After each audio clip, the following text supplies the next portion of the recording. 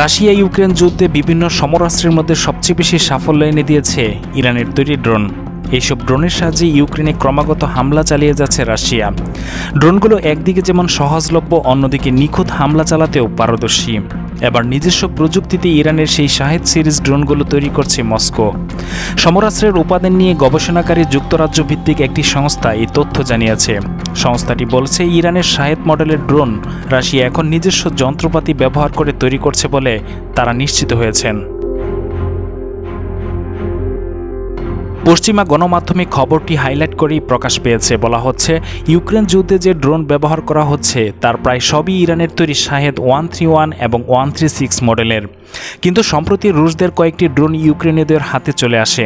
পশ্চিমা বিশেষজ্ঞরা সেগুলো পরীক্ষা করে জানিয়েছে, ইরানের শাহেদ ড্রোনের আদলে রুশরা নিজেরাই এখন এইসব ড্রোন বানাচ্ছে। তবে ড্রোনগুলোতে কিছু পার্থক্যের কথাও তারা জানিয়েছে। গবেষণা সংস্থাটি বলেছে, ইউক্রেনে ব্যবহার করা রাশিয়ার ড্রোনগুলো ইরানের শাহেদ ওয়ান থ্রি ওয়ান এবং ওয়ান থ্রি সিক্স মডেলের। কিন্তু গত মাসে তারা রাশিয়ার জেরান টু ড্রোনের ভৌত অংশ হাতে পান। এই যন্ত্রাংশের বিস্তারিত বিশ্লেষণে দেখা গেছে, ইরানের তৈরি Shahed one three six drone Russia এখন ঘরোয়াভাবেই তৈরি করছে। গবেষকরা এটাকে রাশিয়ার জন্য টার্নিং পয়েন্ট বলে অভিহিত করেছেন। গবেষকদের মতে, রাশিয়া এখানে এমন কিছু প্রযুক্তি যোগ করেছে যার ফলে এগুলো দ্রুত তৈরি করা সম্ভব এবং যুদ্ধে কম খরচে বেশি হামলা করতেও সক্ষম। তারা আরও জানিয়েছে, সম্ভবত রাশিয়াকে তিন ধরনের ড্রোন সরবরাহ করেছে ইরান, আর সেগুলো হলো Shahed one three one one three six এবং কামিকাজি ড্রোন।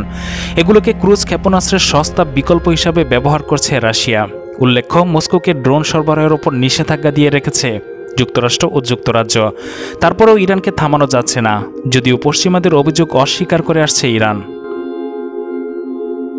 গবেষকরা বলছে, রাশিয়া, ইউক্রেনে, ইরানের ড্রোন ব্যবহারের এক বছর পর এখন নিজেদের তৈরি ড্রোন ব্যবহার করছে। এটা তাদের মনুষ্যবিহীন যান তৈরির সক্ষমতার একটি তাৎপর্যপূর্ণ বিবর্তন।